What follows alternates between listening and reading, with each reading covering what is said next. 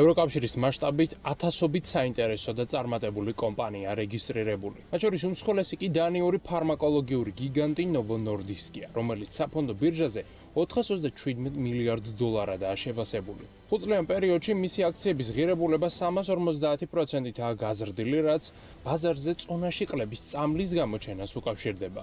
ნოონორდისკის ბოლო წლების აღმასვლა იმდენად შთამბეჭდავი აღმოჩნდა, რომ ამ კომპანიამ მისი მშობლიური დანია რეცესიასაც კი გადაარჩინა, რაც კიდევ ერთხელ ხას უსვამს ამ კომპანიის მასშტაბურობას. ოზემპიკისა და ვეგოვის გარდა, სწორედ ნოონორდისკმა შექმნა პირველი კომერციული ინსულინი ჯერ კიდევ შორეულ 1923 წელს, რითაც ერთხელ და სამუდამოდ შეცვალა დიაბეტის მართვის პრაქტიკა და მილიონობით ადამიანს სიცოცხლე შეუნარჩუნა. თუმცა დანიური კომპანია აქ არ გაჩერდა და წლების განმავლობაში ინსულინის რამდენიმე სინთეტიკური ანალოგიც კი შექმნა, რითაც ერთ დროს ძალიან ძვირადღირებული ინსულინი ყველასათვის ხელმისაწვდომ პროდუქტად აქცია. უმსხვილესი ევროპული კომპანიების რეიტინგში მეორე ადგილს ფრანგული მოდის ინდუსტრიის ტიტანი LVMH იკავებს, რომელსაც მილიარდერი ბერნარ არნო ხელმძღვანელობს. LVMH-ის კაპიტალიზაცია 413 მილიარდ დოლარს შეადგენს და ის მოდის ინდუსტრიაში ყველაზე დომინანტ მოთამაშედ ითვლება. 5 წლიან პერიოდში LVMH-ის აქციები ბირჟაზე 200%-ითაა გაზრდილი. ასეთი შთამბეჭდავი შედეგი კი მსოფლიოს მასშტაბით ფუფუნების საგნებზე მოთხოვნის ზრდით არის განპირობებული. 1997 წელს პარიზში დაფუძნებული ჰოლდინგური კომპანია ამჟამად 100-მდე ცნობილ და წარმატებულ ბრენდს აერთიანებს. მათ შორისაა Louis Vuitton, Christian Dior, Fendi, Marc Jacobs, Kenzo, Taco Heuer და Tiffany.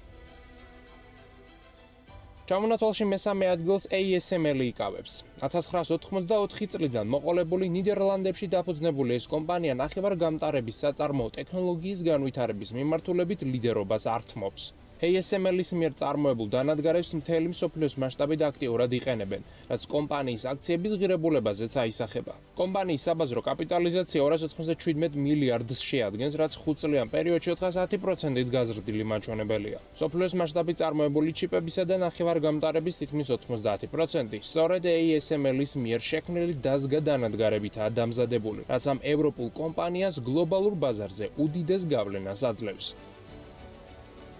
ევროპული გიგანტების რეიტინგში მეოთხე ადგილზე ლორეალია, რომელიც თავის მოვლის საშუალებებისა და კოსმეტიკური პროდუქციის უმსხვილესი მწარმოებელია. ეს 114 წლის ფრანგული კომპანია საფონდო ბირჟაზე 262 მილიარდადაა შეფასებული და მისი აქციების ღირებულება ბოლო 5 წელიწადში 120%-ითაა გაზრდილი. უნდა აღინიშნოს, რომ ლორეალის ჰოლდინგი 35-მდე კომპანიას აერთიანებს და მისი პროდუქცია ფაქტობრივად ნებისმიერ სეგმენტს ერგება. ეხუთი ადგილს კიდევ ერთი ფრანგული კომპანია Hermes-ი იკავებს, რომელიც ბირჟაზე 226 მილიარდადაა შეფასებული. ბოლო 5 წელიწადში კი მისი აქციების ღირებულება 330%-ითაა გაზრდილი. LVMH-ის მსგავსად Hermes-ის ჰოლდინგიც ათობით ცნობილ ბრენდს და კომპანიას აერთიანებს. თავად კომპანია კი სათავეს 1837 წლიდან იღებს, რაც მას არა მარტო სოფლის ერთ-ერთ უმსხვილეს, არამედ ერთ-ერთ უძველეს კომპანიადაც აქცევს.